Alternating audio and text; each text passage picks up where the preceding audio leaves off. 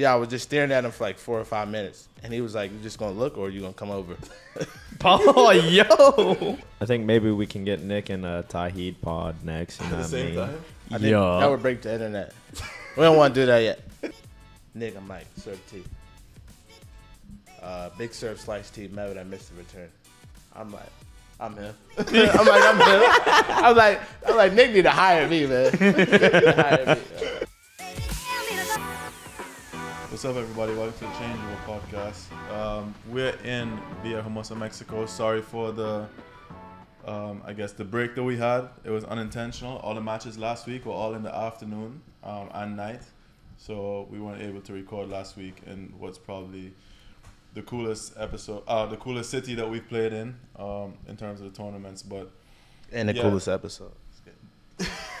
Tauheed's been asking to come on this epi- uh, on the podcast since Tunisia. I've been with Tauheed the last what, like six weeks, maybe something like that. It's been like three, four, Something maybe like that. five weeks. Yeah. Damn. Um. But anyway, so before I was rudely interrupted, um, introducing today's guests, we have two guests actually. Uh, my roommates for the last couple of weeks.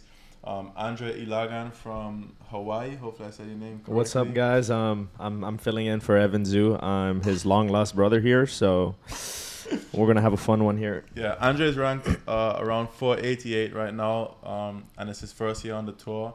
And then the other guest is Tauheed Browning. Tauheed is ranked around 827. Don't let that ranking fool you though, because this man does not play tennis tournaments. So to be ranked 827, and with very little tournaments played, but um, but yeah, we're in Tabasco, Mexico. Tauheed says it's not that hot outside, but it's blazing hot. so- Blazing. you guys like it here? Talk to me. Yeah, I like it. I mean, it's not that hot. I mean, from our match, I think it was just. It's not like it's not that hot. I mean, when when you live in Miami, it's This man says not that hot, right? Guys, So- it, it's it's a hundred like five degrees, and we're in a indoor cover, and it's like humid as hell. Exactly. It's like it's outside, but it's covered, so it's like kind of inside. But there's no like there's one big fan blowing slowly, but it's like ridiculously hot.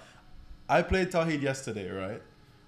And I lost the first six what six three. We're starting the second, and Tauheed is dying at the beginning of the second. and you guys know that I haven't really been training singles, but like I'm feeling good right now because I can see Tauheed dying. Like I'm struggling too. I go up, I go up a break. I see him struggling. I go up a double break, and I'm like, okay, this is it, you know. And then I die. I run out the gas, and I end up losing the second seven five. But this man talking about it's not that hot, and he was struggling yesterday. You know what I mean? that was just a bluff, though. It was a bluff. It was Ah, mind it was a- games. yeah, yeah, yeah, yeah. It was a bluff. I mean, but honestly, though, I think I think the this 15k is honestly pretty good for what it is. I mean, I don't know about you guys, but the past two weeks I've been enjoying it. I mean, I've been playing for about a month in Mexico, and I think the vibes here are just immaculate here. Like the amount of fans that show up to the matches, it feels like you're actually playing a like you actually feel like a professional tennis player. No, what do you last week think? was last week was by far the best tournament that I ever played. Like, I mean, we stayed at the Airbnb, so maybe not that typical for like what people expect the pro life to be. But it was five of us in an Airbnb sharing a room. Well, I didn't share a room, but the rest of you guys shared a room. You know, I'm you know me. I was sharing with Evan Zhu. I mean, y'all don't know what happened behind closed doors, but it's Hey, all love. but um, No yes, Diddy. no Diddy, no Diddy. But but um, yeah, the crowd support there was insane. Like we're, we're actually hopefully by tomorrow we can drop a video on our YouTube or, or Instagram from our doubles matches. But like Evan and I played three crazy doubles matches like against Mexicans in every single match. So the crowd was going crazy against us. But pretty cool. By the end of the week, we had actually people that knew us and cheering for us and so so that was kind of cool. But um, but yeah, let's get into it. So Tauheed. So I'll just give you guys a little rundown about how Tauheed's year has been, right? So I arrived to Tunisia, and Tauheed was there for maybe about two, three weeks already. So I go to Tauheed and I say, "Yo, so this should be your last week, like maybe two more weeks." He's like, "No, no, I'm going like three, four more." And I'm like, "Tauheed, like, if you play more than three, four weeks in a row in the same place, you may get a little bit burnt out, you know." And Tauheed's like, "Nah, nah, you guys just don't want it. You guys just don't want it." You know? I don't want it. I don't want it out here, man. Tauheed went maybe three, four more weeks. I went back to Florida for a week, and Tauheed flew straight from Florida to Mexico last week. Do you regret that decision, or you think it was a smart smarter move? Nah, I regret it because I was me and Jordy was going back and forth like we're not. I'm not gonna have to change tension because I already play at 60 pounds, and then I get there the first day.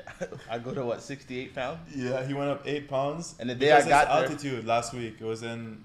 It was like what five thousand. Almost five thousand, like that? forty six hundred meters or something like that. Exactly. And the so, day I got there, I had to. I played flew doubles. in. I flew in the day that I played doubles, so no practice. Then I play. Play Andre in singles next round. So like, Guys, guys, m- m- let's backtrack here. I mean, this guy was in Tunisia for like seven weeks, and then comes straight to Mexico expecting to do okay. This is what I want to talk about about it though. So it's obviously for both of you guys actually maybe a little bit different paths, but it's your first year on tour. So have you learned anything about scheduling or about like what have you learned so far in your first year on, on tour? I guess we can start with Tauheed. Besides scheduling, um, I think you got the best one. Sorry, bro. Sorry. definitely don't go from sea level to altitude. Try to switch in the day. give yourself some time. Yeah, to, give to yourself train. some time. Um, also, play where you're comfortable at. You got to be comfortable where you want to play at. Especially, like for me, I'm pretty picky. Like I'm a like a fill type person. Like doing changeovers when I'm playing matches. I gotta I gotta stencil the racket for some reason. It's just a fill thing for me. so definitely, biggest thing, play where you're comfortable at. Yeah, I feel like for starting Like- out, like in futures and maybe challenges. I mean, maybe when you get to the top of the game, you don't have that much options. You know, like you have to play these tournaments, but like you can be pretty selective with futures and challenges. Yeah, you can find the surfaces and the conditions that you like. You know. Like last year, I went to Congo, red clay. I'm, you know, listening to other people. Oh, it's gonna be weak. Worst decision in my life. Never going back to Congo. I'm sorry. The conditions didn't suit you. it just was too much. Like terrible courts. Food was good, but just like red clay, not good clay. Just just didn't make So sense. So you're saying your mind was not right? mine was not right. Like, definitely not right. What about you, Joy? So you you did pretty well, pretty quick, right? You got up to 500 so far in, in a short span of time. Admittedly, I didn't do that much research into these guys. I'm sorry, but uh, and I just met you last week, so Yeah. the little from the little I know, I understand that you from college till now you've done pretty well in a short sp- span of time. So what have you learned since starting on the pro tour? Um, for me, I'm lucky to, enough to like uh, have this personal relationship with my coach with the scheduling as well, saying that you know kind of find the balance, maybe play tournaments for four or five weeks just to test out where your mental energy, physically as well, how long you can last, but also like maybe playing one or two weeks, saying like maybe playing fresh and then taking a week off, going from there, but yeah, I finished um, college last May and and started playing professionally in July. Started off in the SoCal series that I, sorry, I missed you. You played the first two weeks, I would say, San Diego. and so I played the last three and just tried to just enjoy and have fun. To be honest, it's like I wasn't expecting anything. I was just expecting to get a couple points to start off and then end up winning 115 and finaling another, which was kind of crazy. And then it's at the end of the SoCal Spring uh, series, right? Like there's like Mhm. seven in a row. Just like the last yeah, few. last three I did, and then after that I went to Hong Kong in September and I got hurt, and uh, some crazy tweets were saying I was the biggest uh, Oscar. Uh, Yo, I saw that. You saw that, right? Yeah, yeah, You I saw saw that? that. Yeah. my coach sent it to me. I was like, whoa, like I, I should be an Yeah. an be an actor wait, after what this. Happened? What happened in that? So uh, I w- we're just playing, and uh, it rained delay. I did my warm up, and we started playing a few games, and I landed just awkwardly, and then I sprained my ankle, and I was out for a couple, probably a month and a half, and then came back. And Betis thought that you were just throwing it or something. Yeah, I saw it on Twitter. You saw it or no?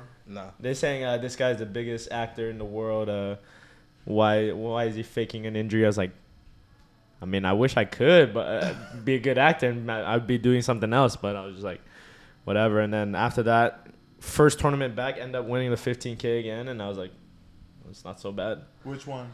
Uh, I played two week. I played one week in Thailand, and then I played the week after. I finaled the 15 again in, in Malaysia. So Okay. I would recommend you guys.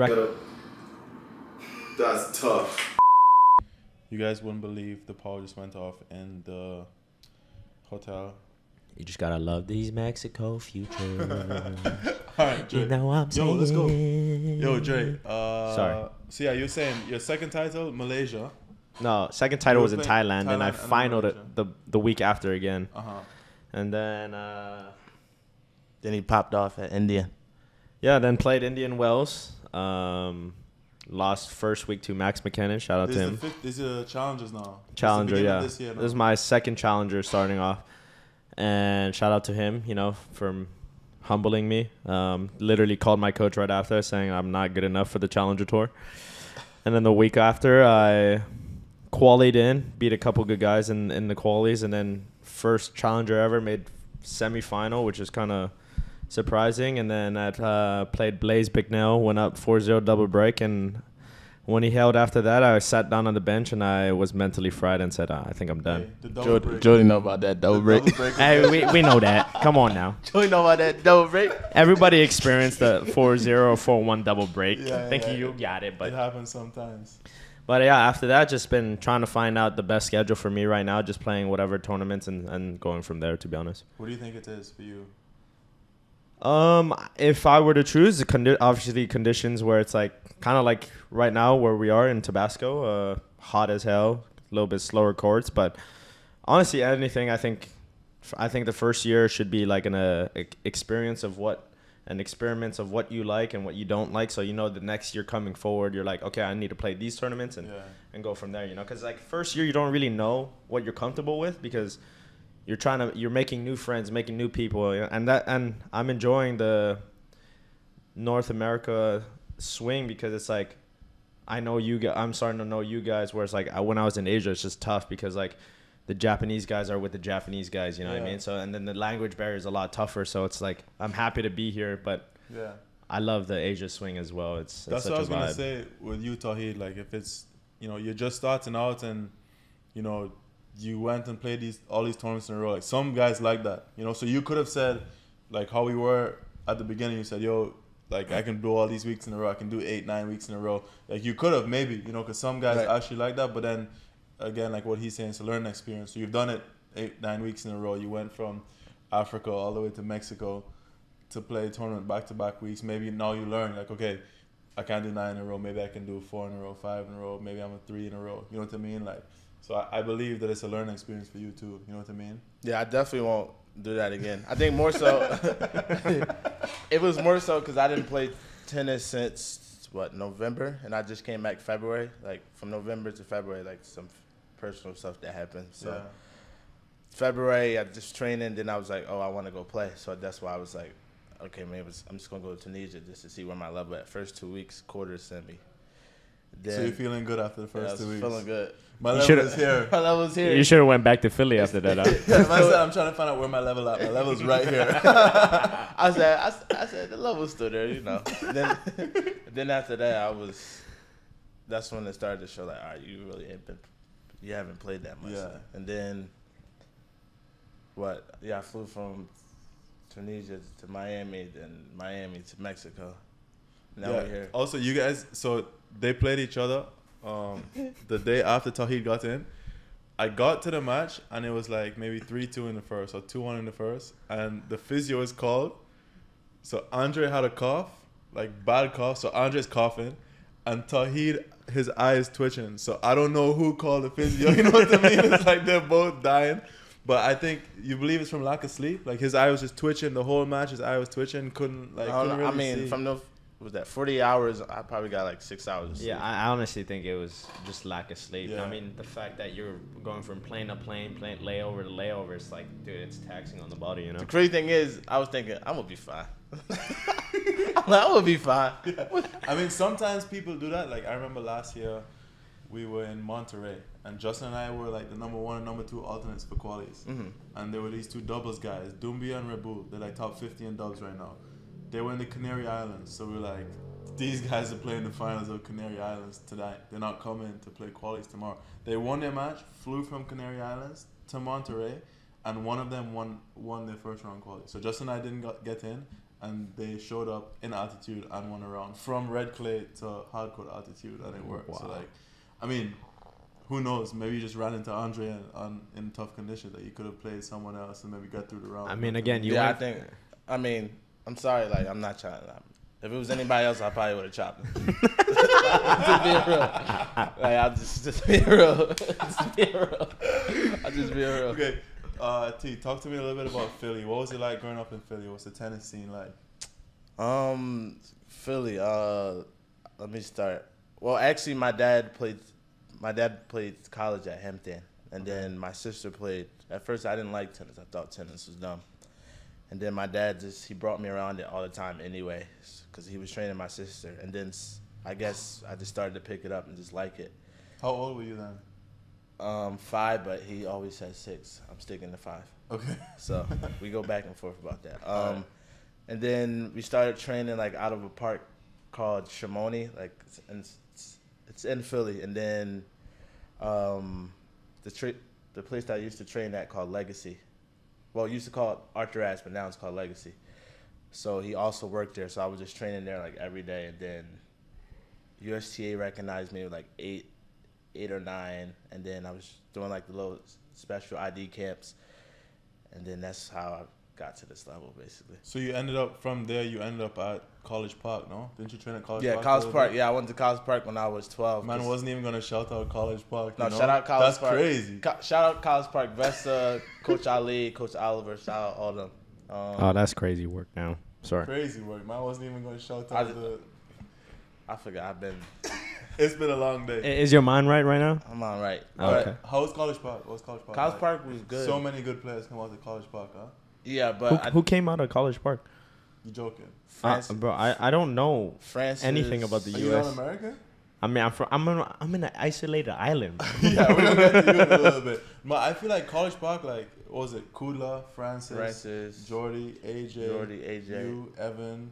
okay, uh, okay. Hailey wasn't- Baptiste, Robin Montgomery, Wasn't Ty there or no? No, maybe not. uh, Brian Chernach, those guys. Yeah, there's a lot, a lot Wow. of players.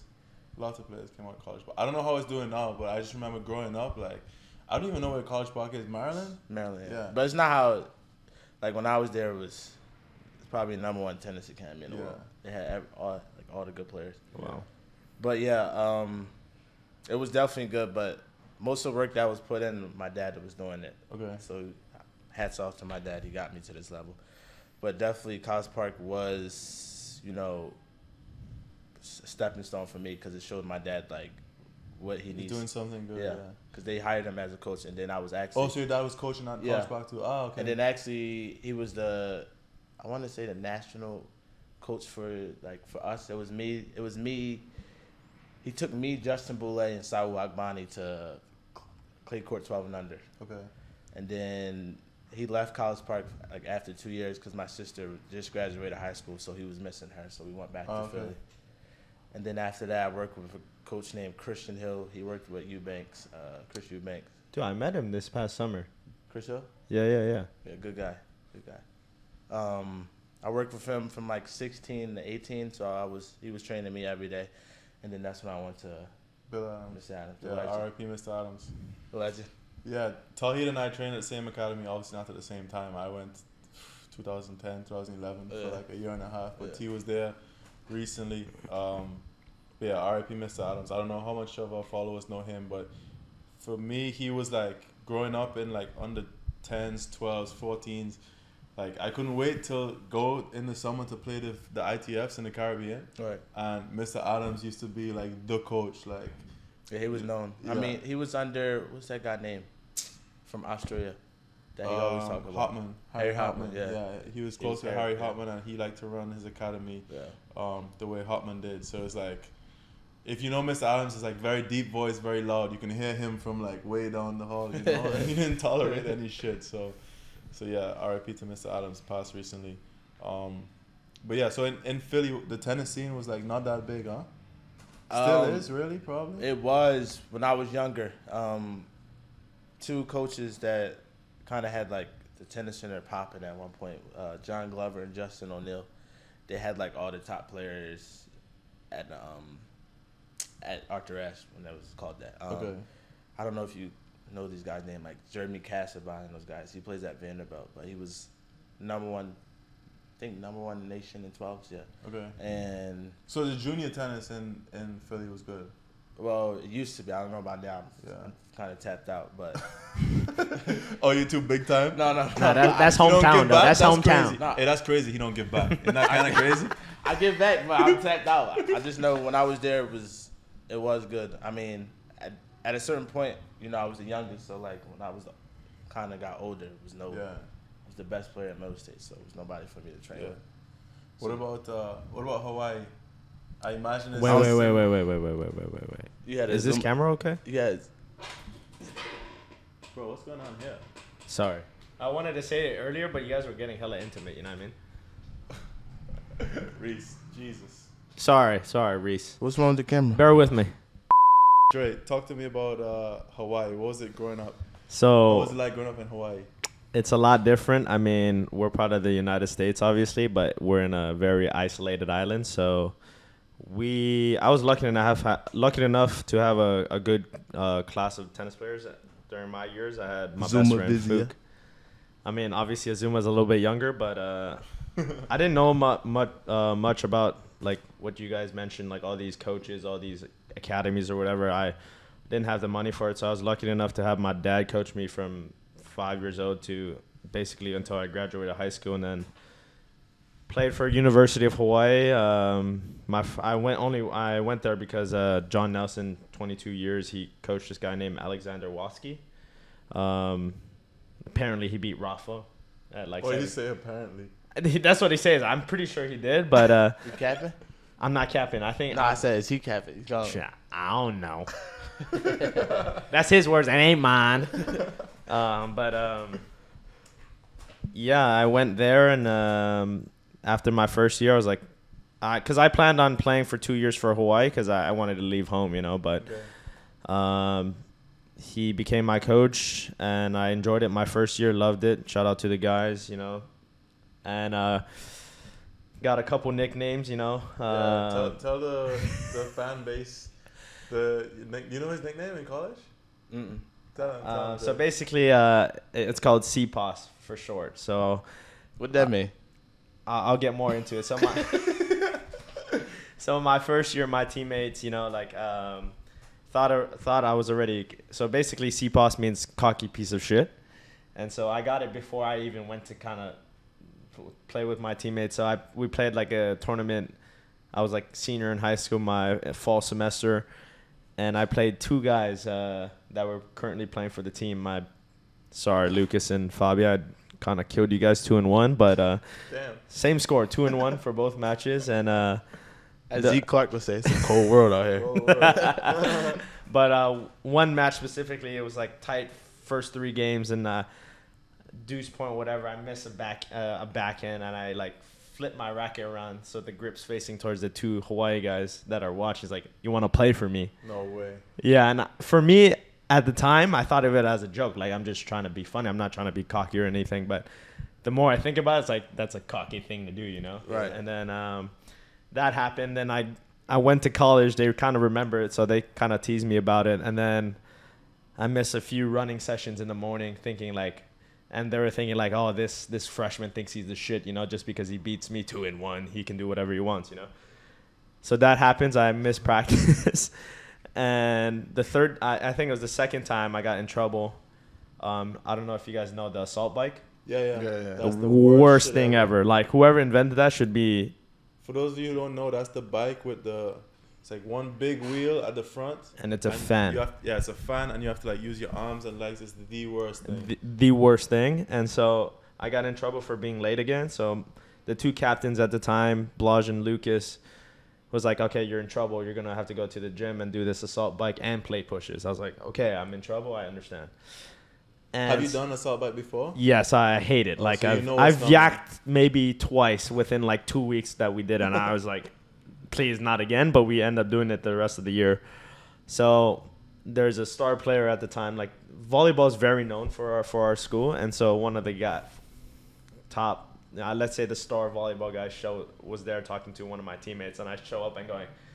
In a, I would say in a very casual casual way, but my teammates would think it was very uh, arrogant. I just show up and be like, okay, what do I do?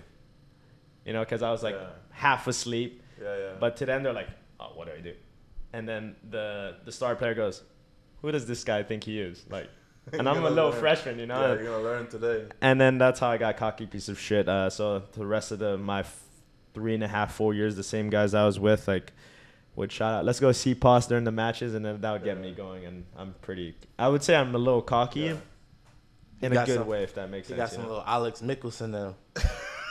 the thing is, like, I oh. met I met Dre like a week and a half ago. I met him on Facetime first when I was talking to Evan. You were you were with him doing a week in LA. yeah, I before was you traveling came with him. Yeah.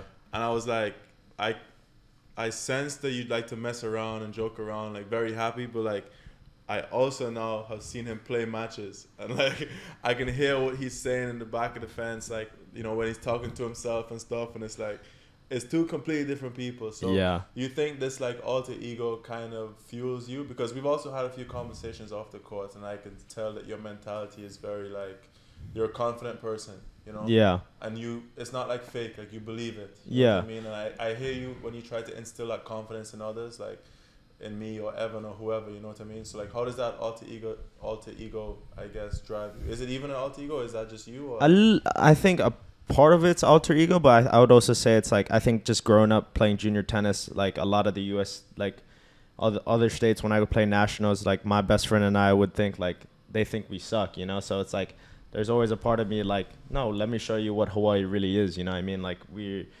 every time I would hear like oh you're playing like for example Tauheed's playing me in juniors, like oh you're one of the, his friends would be like oh you're playing the Hawaii guy, you're gonna kick his ass, and I'm like bro what like come on now like.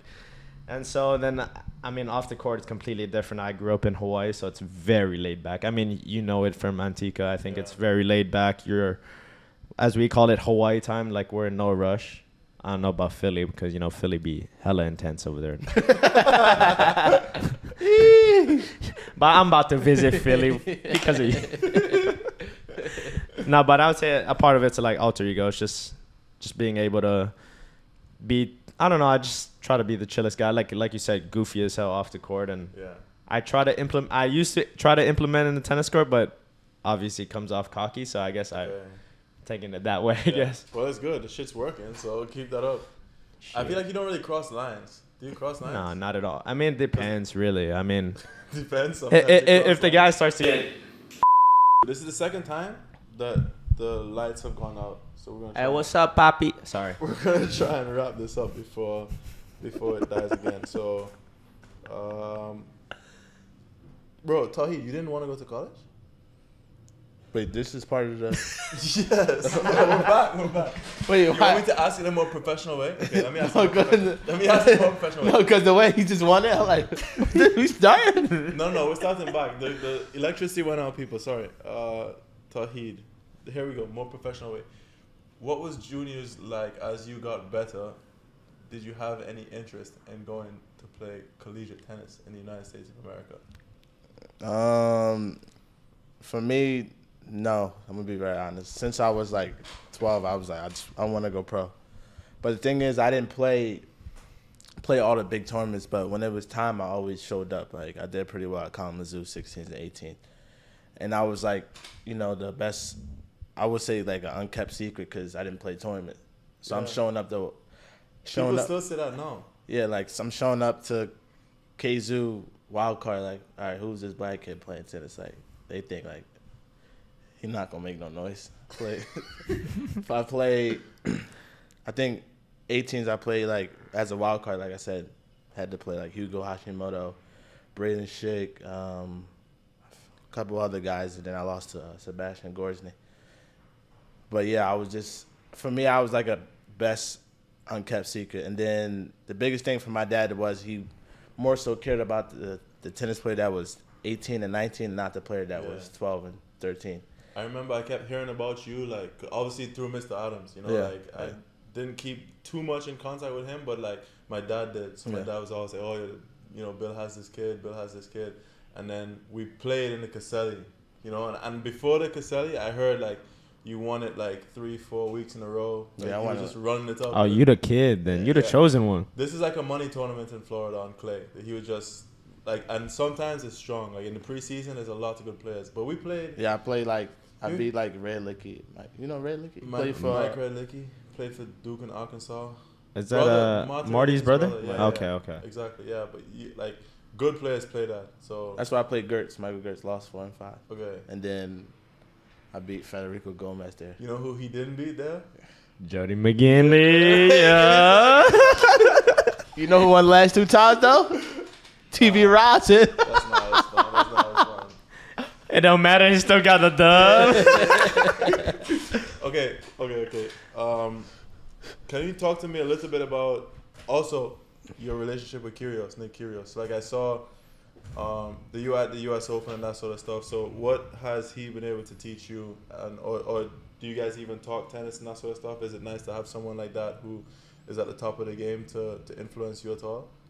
Um, yeah, definitely. That relationship started when I was like 13, like 13 or 14 or 12, something like that.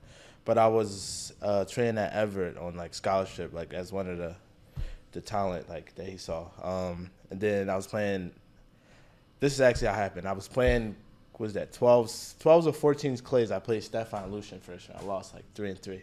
Like just got chopped. I'm like, going back to my room. I see Nick sitting down. Like I just stood there and stood. I stared at him for like four minutes. Hey yo, Pause. Yo, like no, yo, what do you think this podcast is? no diddy, no diddy. Um, yeah, I was just staring at him for like four or five minutes, and he was like, "You just gonna look, or you gonna come over?"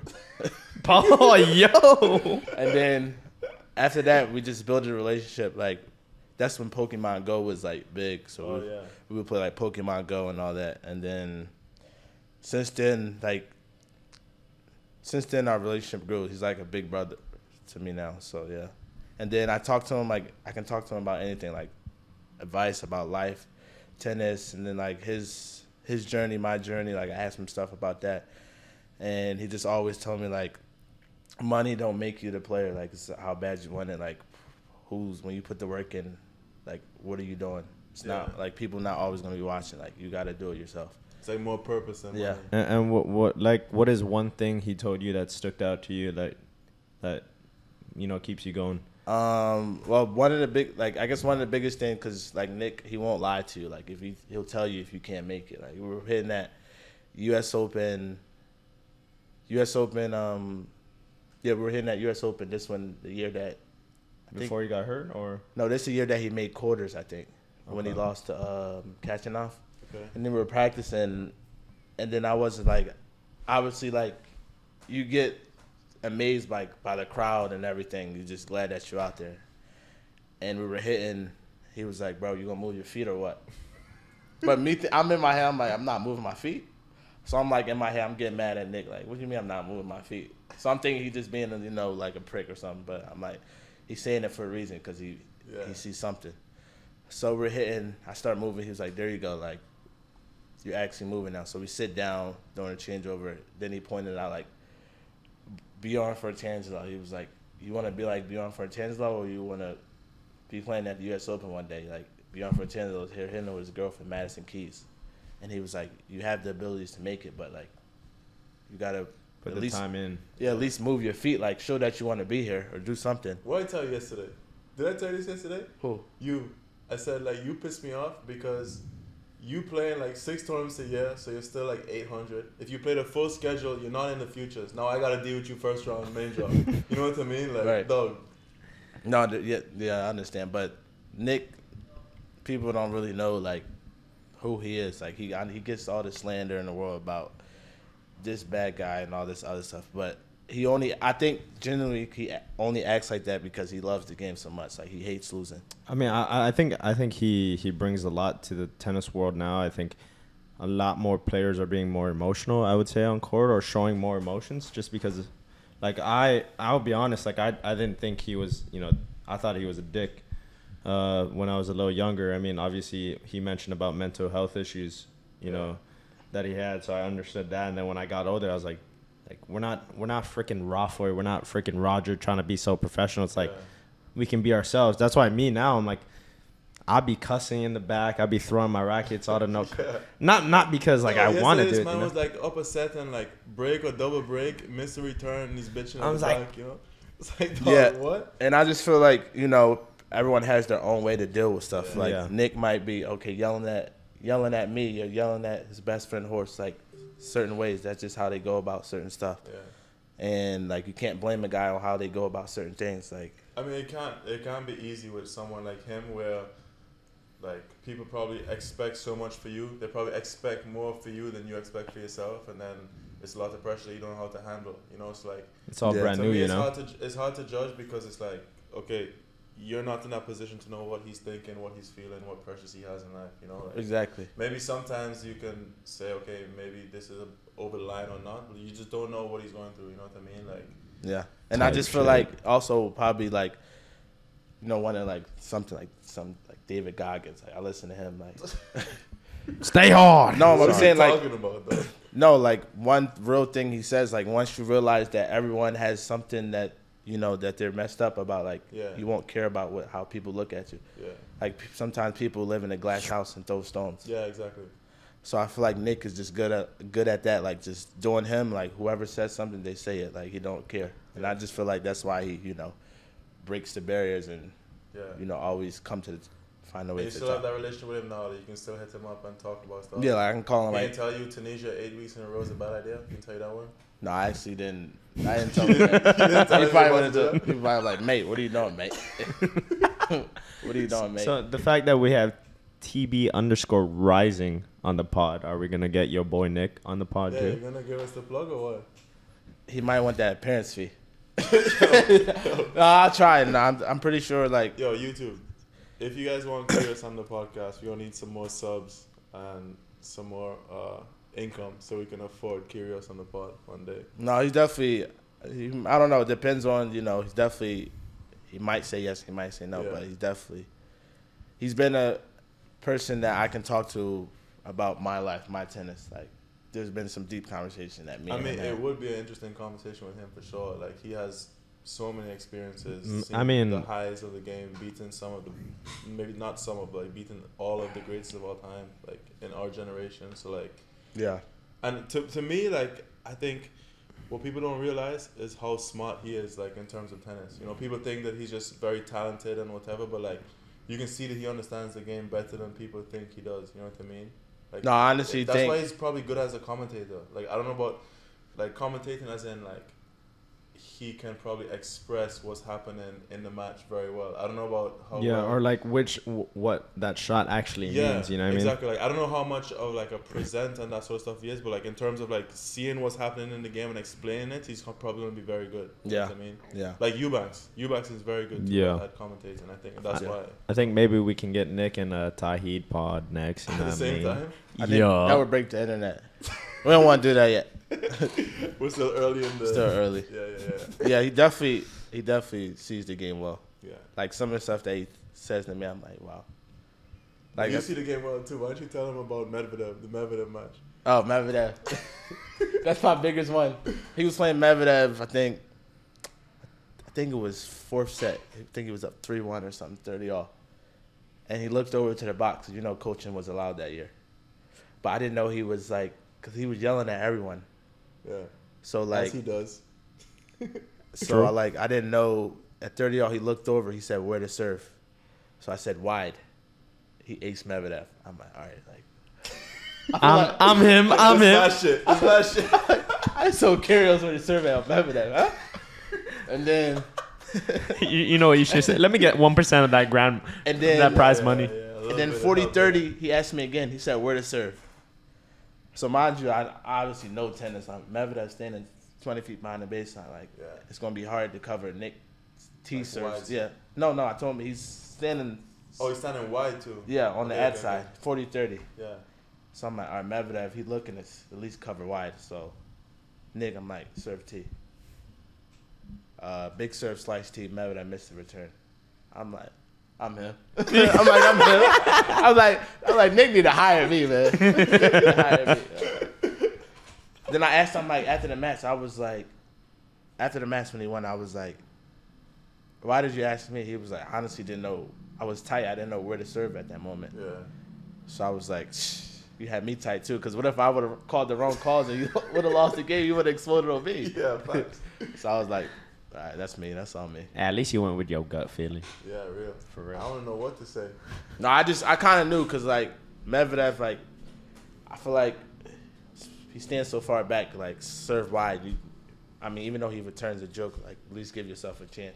Yeah. He aced him, and then But he has a good. Kyrgios has a good like cut. So like, I mean, T is gonna not like, just- come back to the left. not just cut, but I think greatest server of all time. If you ask No, me. I'm saying it's very accurate and big. But I'm saying his his T serve on the outside. It's not just like a bam. It- It's not straight. oh It'll yeah, come yeah, back yeah, to the side. yeah, it'll come left. yeah, you know right, I mean? yeah, So yeah. yeah. But um, all right. Before this in this uh, power goes out on us for a third time. What's next for you guys? What do you have coming up? Uh, I I mean I'm taking a week off after this, going back to Hawaii to get my mind right. You know what I mean? gotta go see the beach, gotta see some family, and, and it's always nice. What Oscar say? Gotta go see the bird. yeah, I Gotta see the birds. See the bird. um, but after that, uh, gotta play this prize money tournament. Let's get it going again uh, in California. Then hopefully get in Tyler, Texas for the Charlie. But if not, Is the money tournament for money or is it for matches or like why? What reason do you have to play it? it's for like a, ev- some charity event, I think. Ah, okay, okay. Um, and then after that, maybe play uh, the two 25Ks in Wichita and, and um, oh, I'm playing. Tulsa. So I'll see you I'll there. see you there. And maybe one in San Diego. We'll see. But yeah, it's going to be mainly all summer, hopefully in the U.S. Okay, And you? Um, nine in a row in Egypt. no, I'm going to after this tournament. After this tournament, take two weeks off. Go to go to Spain, new journey. Oh, you're gonna start training in Spain. That's Yeah. right. Yeah, yeah. Start training in. Spain, play some tournaments in Spain, and then I wanted to play DR, but I gotta go to Spain, so Okay. I can't When- go. so when you go to Spain, are you gonna let the coaches there determine your schedule, or Yeah, like, they'll how does that make- work? they'll They make- it for you. Yeah, because this year I made my own schedule. But I also think I, I think if you have a coach that recommends, I think you should also implement what you feel. You know, like Yeah. where you want to play, kind of. You know what I mean? Yeah, I mean, I'm sure you have input in that. yeah, yeah. I have input, but Yeah. I guess I mean the coach that he worked with, Pedro Martinez, some top guy, so I'm pretty sure he knows a little bit more. It's than like you trust you trust his leadership. yeah, I mean obviously I haven't been there yet, so Yeah. we'll see like once we, you know, how we mesh and everything to see how it goes. But I think it'll be, you know, I feel like it'll be a good culture, you know, in Spain, red clay. Yeah. You know, I'm used to playing on hard, like just to see True. a different environment. And uh, be. And then, yeah, this year I made my own schedule. Probably, not a good idea. Probably Definitely ain't no good probably idea. should took that. weeks in a Probably row. should took that week off, like you said. Yeah. And um, for the tennis professional tennis player watching this, uh, hot take from Tauheed Browning saying that Monastir, Tunisia is the slowest courts he's ever played in. That's not true. Yes, It's just not true. It's Very just slow. it's. It's- I've never it's played, so but This Ask, is slower. This week is slower Bro. than Tunisia. ask Giles Hussey, bro. Giles, Ja- Giles Hussey. Giles Hussey. if came- Giles Hussey is saying it, is is correct. No, no, no. Because he's the king. He's a, he's the king of. Just because he's won About to argue for futures in a another row 10 minutes. he's a king. What I'm saying is Giles just came from Egypt, where it's very Yeah, but- fast. So anything's gonna be slow. Me and for him had a conversation. You weren't care- there. I don't care if you. I said, you had a Giles, is the conversation. court slow? Court slow? He said, it's so fast. It is slow, but it's not. It's not like the slowest. Like this is this week is slow. No, it's for not. Sure. Bro, I'm telling you, I'm serving like I'm serving like Nick first three games, then it turned to a clay court match. Like wow, then you be behind. I'm out here playing like this. yo yo. okay, yeah, that's too bad. Sorry, sorry, sorry, sorry. Yeah, we gotta take that one out. But let, let me know, guys, for the guys that played in Tunisia, if you say it's the slowest court or it's you know normal or kind of fast. also, Um, it's pretty cool that we actually do have quite a bit of pro pro players that are watching the podcast now. Ask Dan Martin, Dan Martin. Ask Dan Martin. Donsky. Ask Donsky. Yeah, ask Donsky. Ask Koulibaly. Ask Paulo. They're not. They're not gonna say that it's the slowest futures ever. They're not gonna say that. Bro, slowest court I ever played on. okay. And they're playing with Babolat team balls. Hey, it's his first year on tour, right? All right. All right. All right. I digress.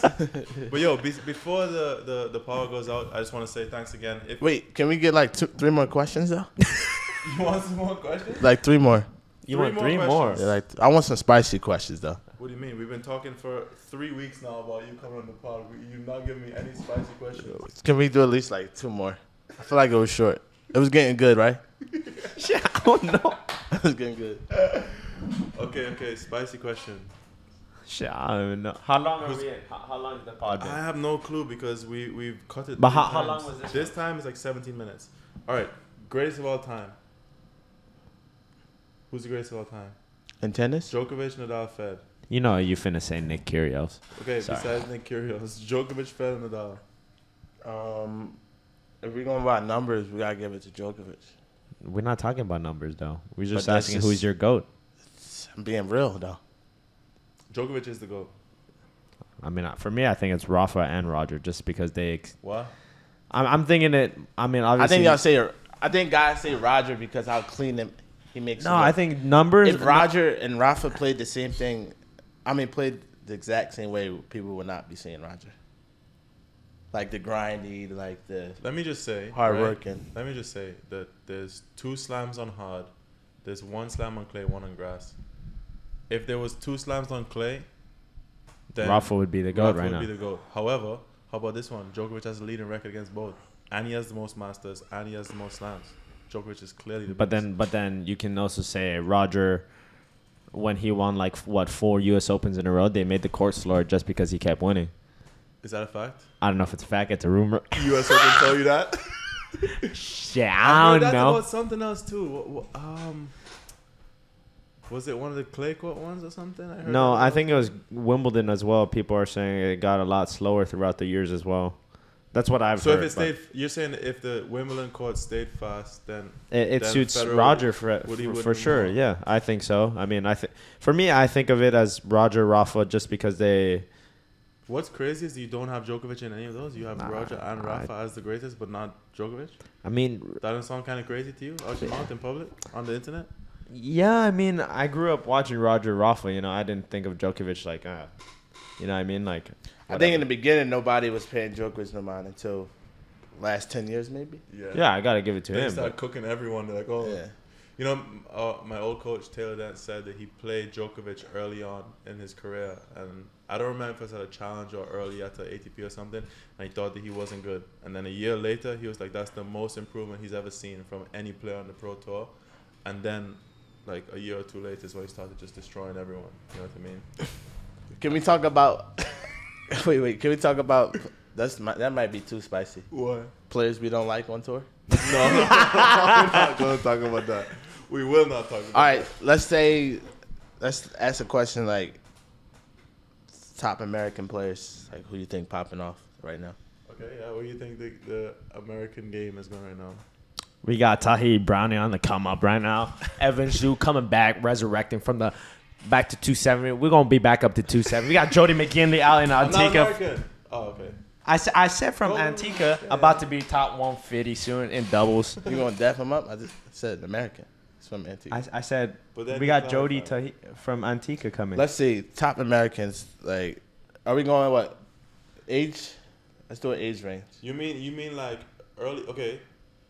Like, You mean like college, pro, that kind of stuff, or you mean like top, top, top? like Ben Shelton age and de- below. Yeah. We're not talking about Tommy Paul and Fritz. You know. All right, go on. Saying I'm Let old. I guess my age is old Uh, now. just not in order for me. Okay. Uh, Andre Shelton, Andre Ilagan number two. Sorry, just kidding. Ben Shelton, Huh. um, Michelsen, Yeah. What other Americans are doing that good besides those? two? uh, Aidan Mayo. but that's a considerable jump. Those two guys are top hundred. No offense to Mayo, great player, but like he's like two something. Yeah, but Right. he's still he's he popped. He's been popping off. He did. He did Um, pop off last year. Ethan Quinn. I rate Ethan Quinn actually. I rate him a lot. I think he'll be good. Ethan Quinn. Um, what's that? That was three or four. It's like three. No, Who you else? said you said Ben Shelton, Michelsen, Michelsen. Ethan Quinn, Aidan Mayo. That's four. Give me that one more. I think what's his name? Okay, how about this? How about this? One dark horse to pop off at U.S. Open this year. Andre I'm not gonna say it. An American, My long lost Wally brother. Jermaine. man. Oh, that's easy. Long lost brother Evan Zhu, baby. Uh, I don't know. I'd probably say Well, he already he's not a dark horse at this point. Michelsen, he already top, Michelsen, you think he's gonna do well at U.S. Open this year? he already know he gonna do well. Just the way he act. Michelsen, Michelsen already know he gonna do well. Uh, that's crazy. I mean, Okay, okay. How about this? How about this? If you had to pick one American at the top of the game, any of the Americans, who will first win a slam? Of the Americans, so you got Korda, Tommy. So it could be anybody now. Fritz. Honestly, the, I think one Shut game. up. oh wait, and we forgot to throw what's his name in there. Who? Um, Emilio Nava. He's Yeah, now. Emilio Nava. I I think if it was one person that I, I would choose that I think could win a slam, I think it'd be Tommy Paul. To be honest with you, Over Fritz. over Fritz, yeah. Wait, wait, Why are you shaking your head? No. Because we got, first of all, we got Ben Shaw and Frances. True. What are y'all talking So about? he's But- not even but- top three. So, We okay, okay. No, what's your got pick? Ben then? Who do you think will win a slam first out of all the Americans? Um, Ben Shaw and Frances. I think it's Ben Shelton or Tommy Paul. I think I would agree with you. Ben Shelton or Tommy, yeah. Why y'all counting out Frances though? Frances. Don't forget It's Frances. true. Frances made semis of Don't- Australia. don't I mean, that's true. Yeah, Don't yeah, yeah. count out like Frances did beat Rafa at quarterfinals of U.S. Open. Yeah, but then you, I mean, Tommy Paul made semifinal of Australian Open. You know what I mean? Like literally last year. Okay, I might change my answer from Shelton to either Tommy or Frances. Good argument. But what about Ben though? You don't like Just Ben? because, yeah, no, I do joke, joke serve. But you gotta think though. He hasn't, he hasn't Y'all done it yet. You know. All right, but if we're gonna be honest, the age difference. Ben Shelton, 21, already semi U.S. He's twenty one. Yeah. Wow. Okay. That's what I'm saying. Like you gotta throw that factor in. And like Frances and those guys past 25, I think. yeah. So Shelton gonna be there for a while. He already But made. we can argue that those guys have more experience now, so now they have a better chance. Like you can just Who has more experience? Frances and Tommy. You can just I can argue the complete opposite to what you're arguing, and it, it could make sense. But how though? Because you're saying that he's 21, Shelton's 21 and has time. I'm saying that Tommy and But they Frances- time. I don't think. their time is not is not gone. But I'm saying, I don't think It's those. not like they're 35. They're But I don't like- think those guys gonna be peaking still like Djokovic when they 30, bro. Yeah. Djokovic about to be done in the next few years, Brody. But I'm saying that He told you that? I don't think Yeah, he personally told me that. I don't think mo- most of these guys. I mean, obviously I would like to see it, but I don't think they're gonna be peaking like like Rafa or like. I don't think nobody's gonna be like Djokovic. no, I think I think they'll. I don't think there'll ever be a, a big three like that ever again. Bro, Or maybe in the next first of all, universe. if these Americans want to win a slam, right now they got to deal with Jannik people who are Sinner, playing, playing well right now is Sinner, Alcaraz, Zverev. And then you have the other guys like the Ruud, Rune, guys, Ruud, Tsitsipas. So I got, I got, I got, I got a good question for you guys. It, it who's gonna be anyone on tour who's gonna break out this year, like making like say the challenger level. I don't know. challenger level. Yeah, Me. Should I say me? dog. nah, my dog. I mean, I'm only saying that I haven't like last year I played four like four tournaments. Yeah, and I- you need to play some more tournaments. You need to play some more like I had to. I mean, it don't really mean nothing, but I know the levels. But there. name me three guys you think you'll break out. break out Yeah, like just have a good year in general. like in college right now too. It Or- could be in college too. So one of them is you. So that's Tahi no, Brown. we're not. I Oh, mean, shit, my bad. We're not gonna put myself in there. Jody Maginley. Sorry. Uh, Justin Roberts and Evan Zhu. Sorry. Nishesh. Nishesh, he played at Stanford. Okay. Um, I don't know. I'm gonna say it. I think Andre. When I play Andre, I'm like this guy's a, He's too good. No, when I play Andre, I'm like, this guy's a joke. Yeah. This guy's actually a joke. I appreciate This guy's a joke. yeah. Um, I'm a little nervous. just like the after ball, that. just just the simple fact, just on the ball striking abilities. Like I was, I was like, I was kind of confused on what was going on sometimes. but you Um, had the bat strung up like a different Yeah, tension. you had were getting 68 used to the- tension, bro. no, but I was just movements. impressed how like, like even just watching him, I'm like impressed how he redirects. People, I'm sorry. We've just been dealing with this power outage. We're back again. Um, so before we wrap it up, just quick question. I just wanted to know from you guys when, at what point in your career did you know that you wanted to play professional tennis, and yeah, what gave you the confidence to actually believe in that dream and go for that dream? I guess you could start, Dre. Um, I mean, I always yeah, growing up, I wanted to be, always be a professional tennis player, but um, I think it happened. I think when 2020, 2021 year started, we played only conference matches, and I played a guy that was at the time, but there was no ranking. Like he was 17 in the country, named Joseph Guillin. He is a French guy from UC Santa Barbara, and I was up six three five four serving for it, then end up losing six one in the third. But I was just like okay, I think I can actually play. And then um, my my coach, shout out to my um, university coach, uh, Coach Joel, uh, believing in me always. And uh, part of him, I would say, was all him because he was like, you can beat these guys. You're just a diamond in the rough, as he would always say. And um, then I played All Americans, got into the qualies, and then end up making the semifinals. I was like, I can I can actually play. Sheesh. and then a couple weeks after played Arthur Fery, where he played that summer, almost made main draw at Wimbledon, lost in five sets, and I, I went three sets with him. I was like, all right, I'm gonna take this a little bit more serious, and the game was in a good place. yeah, and um, and it was different because like that, during that time I was like playing like Rafa Nadal, playing wahe wahe, you know, to the back end all day. And now, um, as Tauheed mentioned, like I take the ball early and, and redirect and just try You to hit everything something flat. Very interesting that I don't really see that often. Like, if the ball is short a lot of the time, you're gonna like go like strong cross whatever. But then, let's say someone goes deep cross to you, you redirect line very Yeah. well. So it's like people won't expect you to change direction off a ball that's like really deep, and you do it you do it well. Like you almost hit the forehand like kind of late, and then it goes. like- Yeah, it, it- and know. for I, I can tell for myself like it feel it looks when you guys watch it like looks a little bit too casual, you know. It's like Right. Yeah, yeah. Exactly. but I'm just letting the racket That's what I'm play. saying. It looks like, late. It looks like you just kind of wait and you, instead of swinging and making contact here, you're half volleying it, making the contact like to the side, and then just redirect it line. Yeah, I mean? do some I do some weird stuff, but yeah, after that I was just like, I made eleven in the country before the se- uh, spring season started, and then I shit the bed and and didn't know how to deal with the pressure, so that's why I went back for my fifth year. Okay, but at least you had the idea that they had good tennis in you, and you can. Yeah, yeah. I mean. I didn't really see it before. It was like such a a far dream that I had, but then my coach always reminded me. I think like you can play, it's just Yeah. you don't know it yet. You know. Yeah. What about you, T?